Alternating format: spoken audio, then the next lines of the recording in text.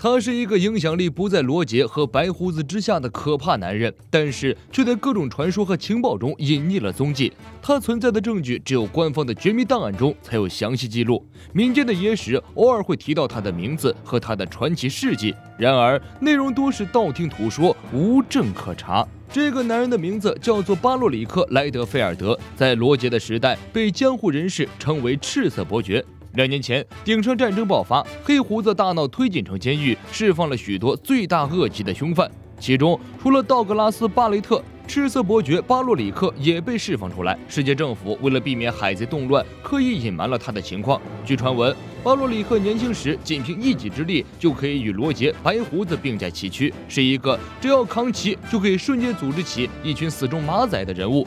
不过，巴洛里克性格孤傲，多少年来都是独行一人，从来不与其他人同盟，因此人们又称他为“孤高之红”。大海上执行任务的海军舰队遭遇了巴洛里克的袭击，海军发起反抗。突然，有两道白色的人影冲出来，屠杀军舰上的海军。海军们看清袭击者之后，惊呼：“不可能！来者竟然是青雉和斯莫格！为什么一向贯彻正义的青雉与斯莫格会帮助巴洛里克袭击海军呢？”细心的小伙伴们一看这两位的造型，应该就可以猜到，青雉与斯莫格并非本人，而是巴洛里克利用某种能力变化出来的傀儡。被青雉踩在脚下的海军无法相信自己眼前的一切，为什么青雉会成为这个家伙的伙伴？伙伴！巴洛里克一剑斩出，海军当场命归西天。我不需要伙伴，一个也不需要。另一片海域中，路飞一伙正在进行新的冒险。在旅途中，他们救上来一个和乔巴一样可爱的狸猫。这次真的是个狸猫啊！这个狸猫名为帕特，他会用一种变形液变成各种各样的东西。路飞一伙将狸猫送到了他的目的地——约定之岛。路飞远远的就闻到了岛上充满冒险的气味，刚好也需要补给船上的物资了。娜美给大家安排任务。山治与布鲁克负责采购食材，乌索普和弗兰奇负责采购维修桑尼号的工具和零件，乔巴负责补给药物。索隆太容易迷路了，就留下来看船吧。自己和罗宾负责尽情逛街吃喝。至于路飞，人早就冲进城镇里去冒险了。狸猫帕特之所以称这里为约定之岛，是因为他和某个人约定在这里见面。就这样，狸猫和大家依依不舍地告别。路飞进入镇子之后，刚好碰见有歹徒在威胁一个女孩要保护费。路飞二话不说，冲上前解决掉了歹徒。女孩名叫亚多亚，是一个饭馆的老板。为报答路飞的救命之恩，女孩请路飞吃了一顿饭，并答应可以照料路飞的伙伴们。不过，路飞需要答应她一个小小的请求。还不等亚多亚说出那个请求是什么，帕特突然出现，看他急得满头大汗的样子，应该是出了什么事儿。不好了，路飞，大家都被掳走了。路飞一听，这还了得，立马跟随狸猫来到海岸边，一个置身于火海中的废弃工厂。这个地方似曾相识，记忆中好像来过这里。被火焰笼罩的工厂另一面是一片覆盖在冰雪之中的区域。工厂的入口处有一个歪歪扭扭的牌子，上面写着“庞克哈萨德”。路飞跑进工厂内部，一个庞然大物从天而降，正是曾经在庞克哈萨德岛上遇到那头喷火龙。一番激战后，路飞打倒了喷火龙。接着，路飞一路打怪刷经验，从火岛刷到冰岛，再次击败了凯撒和怪物布莱姆，找回了索隆和弗兰奇。索隆和弗兰奇在一个雪堆后面醒来，他们对刚刚发生的事情完全不记得，只记得吃了厨子做的饭，然后就失去知觉了。路飞和他们两人说明了事情来龙去脉，把他们带到亚多亚的旅店。亚多亚表示自己会让路飞一伙自由使用旅店，不过路飞一伙人要帮忙城镇建设。当晚，热带沙尘暴袭击了城镇，亚多亚又拜托路飞一伙到城镇外进行调查。来到城镇外，路飞等人发现这里有一片沙漠，遇见了正在战斗的乔巴和乌索普。同时见到了老朋友克洛克达尔。两年后的路飞揍克洛克达尔还是很轻松的，更何况还有索隆和弗兰奇助阵，几乎就是轻松吊打。战斗很快结束，五人完成调查任务，回到城镇。接着，他们又刷到了司法岛副本。罗布路奇被打败后，吐露出了一个秘密。他声称自己的力量是那个男人刺激的，自己无法将罗宾带回本部，这也是那个男人的意志。就在路奇要说出那个男人的名字时，突然砰的一声，罗布路奇消失了，取而代之的是一片缓缓飘落的叶子。这个叶子正是狸猫持有的变形叶。陆奇消失后，众人在司法岛上找到了罗宾、娜美、山治和布鲁克，伙伴们终于聚齐了。原来掳走伙伴的家伙是狸猫的老大，至于这个老大的名字，狸猫不肯说。不过相信大家心里啊已经有答案了，正是巴洛里克。狸猫答应众人带他们去见老大。狸猫带着大家来到海边，这里出现一个和愚人岛一样的地方，当然也是假的，是巴洛克利用变形液做出来的场景。路飞一伙刷完这个愚人岛副本后，巴洛里克终于现身。他全身散发血色的光芒，霸气十足，从天而降。巴洛里克从小就拥有很强的见闻色霸气，可以得知附近人的内心想法。如果触碰到某个人，就能探知更深层的东西。他的目的和路飞一样，成为海贼王。听到这话，路飞自然坐不住了，冲上去就动手。成为海贼王的人是我。巴洛里克身手了得，而且还会瞬移术。他瞬移到路飞身后，一脚将其踢飞，接着拔出三剑，剑锋摧毁了后面的岩石。你们这些人全都让我的希望落空了，不如在这里杀了你们！巴洛里克想直接团灭草帽一伙，狸猫站出来恳求巴洛里克不要痛下杀手。巴洛里克沉默了几秒后，然后用变形液变出了另一个狸猫。以后的日子有他就够了，在我的修罗道上不需要你。再见，帕特。巴洛里克不想再与草帽团缠斗，索隆叫住了正准备离开的巴洛里克。巴洛里克声称自己还有重要事情，他用变形液变出了白胡子，然后自己带着假的狸猫离开了。虽然这个白胡子是假的，但实力不容小窥。路飞一伙人围攻他许久，才将他打回叶子原形。路飞一伙人回到城镇旅馆，狸猫向大家讲述了自己的经历。巴洛里克曾救过他，之后狸猫和巴洛里克一起出海做海贼。后来大概是两人观念不合，巴洛里克决定还是自己单干。所以啊，才将狸猫抛弃。巴洛里克来到这个城镇的目的是寻找一颗恶魔果实。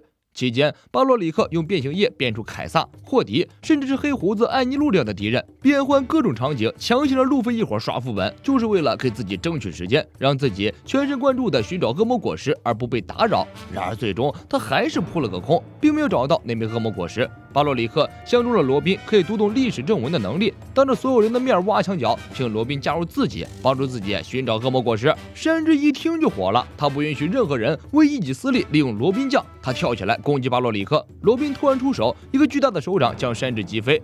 这不是真正的罗宾，而是巴洛里克用变形液变化出来的傀儡。假罗宾打倒了山治，然后随着巴洛里克离开了空岛。虽然巴洛里克带走的不是真正的伙伴，不过变形液变出的人物是具备本体人物的能力的。也就是说，假罗宾也有解读历史正文的能力。巴洛里克要利用这个罗宾帮助自己找到恶魔果实。路飞等人继续追查巴洛里克。这一次的场景是路飞的家乡风车镇。与伙伴们回到风车镇的感觉真的很奇妙，有一种梦回童年的感觉。就连三兄弟结拜的地方也被还原出来，上面还放着三个酒杯，好像真的回到风车镇一样。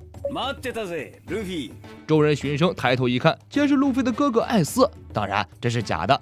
加艾斯发动进攻，路飞用橡胶机关枪和火拳重反击。加艾斯一发大岩界，巨型火球从天而降，虽然击中了路飞，但问题不大。路飞继续与加艾斯缠斗，最后用一招象枪结束了战斗。接着。场景转换，众人竟然来到了顶上战争。在这里，小伙伴们遇到了海军大将黄猿、青雉以及赤犬。路飞一见到赤犬，便怒从心头起，无视其他敌人，直奔赤犬而去。黄猿赶来拦截，山治与索隆围过来拖住黄猿。黄猿一招光速踢旋飞了山治。赤犬此时也发动攻击，无数熔岩流星从天而降。路飞大吼一声，奔向赤犬，却被青雉的冰河时代困住。青雉抓住路飞的脑袋，一只手变化成冰锥，准备直接将路飞的脑壳贯穿。忽然，一道火焰。从后方袭来，烧掉了青雉手中的冰制。路飞等人定睛一看，不得了，竟然是火拳艾斯！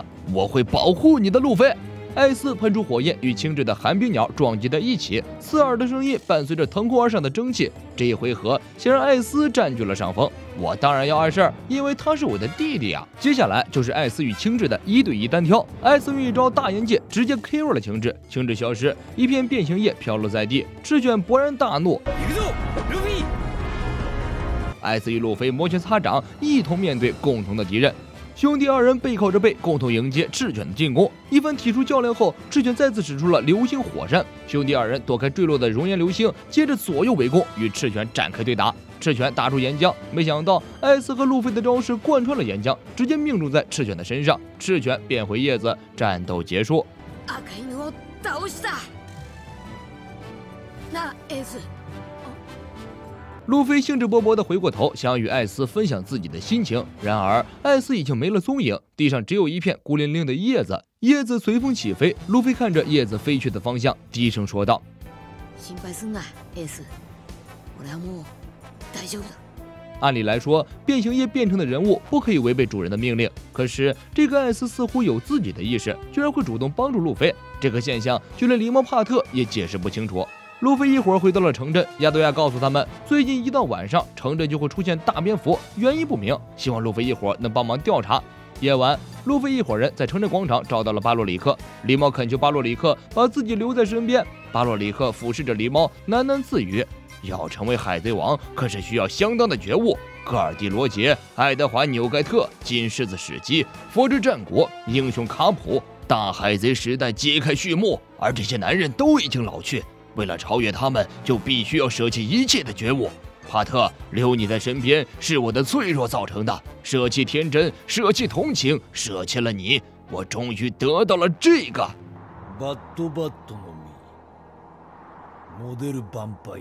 巴洛里克吃下手中的紫色果实，这样他就成为了不老不死的吸血鬼。现在我要将最后一样舍弃掉。路飞大吼一声。巴洛里克一个瞬移来到狸猫面前，一脚将他踢飞。路飞冲上前，巴洛里克瞬移消失。等他再出现的时候，怀中抱着亚多亚。在众人惊愕的眼神中，巴洛里克用吸血鬼能力吸食了亚多亚，自己变成了年轻力壮的人兽形态。年轻的力量回到我身上了。路飞大怒：“你这家伙，我饶不了你！”路飞等人一拥而上，围攻吸血鬼巴洛里克。巴洛里克一边打一边制造黑暗，隐去自己的身影。路飞等人无从下手。接着，巴洛里克吸食了路飞的能量，把路飞变成了一个步履蹒跚的老头。衰老让人失去力量，传奇也会有被人取代的一天。而自己现在已经不用顾虑这个问题了，自己永远不会衰老，永远不会失败。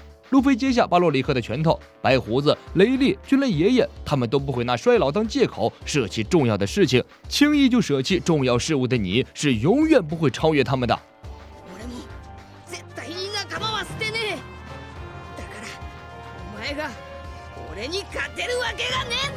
巴洛里克一记重拳，衰老的路飞用拳头打过去，不仅破了巴洛里克的拳头，还将他一拳打倒。巴洛里克被路飞的精神和意志力所打动，将力量还给了他，还救活了亚多亚。我终于清醒了，草帽。海贼王并不是靠借来的梦想和借来的年轻可以获得的廉价称号，所以我就此发誓，从现在开始，我要以这副丑陋衰老的躯体超越纽盖特、罗杰以及所有的一切。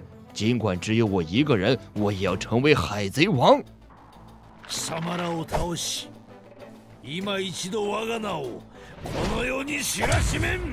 接下来就是草帽一伙与巴洛里克、狸猫的对战。一番男人间的决斗之后，巴洛里克败下阵来。他优雅地站起身，但体力已经明显不支。巴洛里克输得心服口服，他与路飞约定，下次一定会再见面，那时候再战个痛快。这是《海贼王》特别篇《无尽世界红》的游戏剧情，总的来说还算可以吧。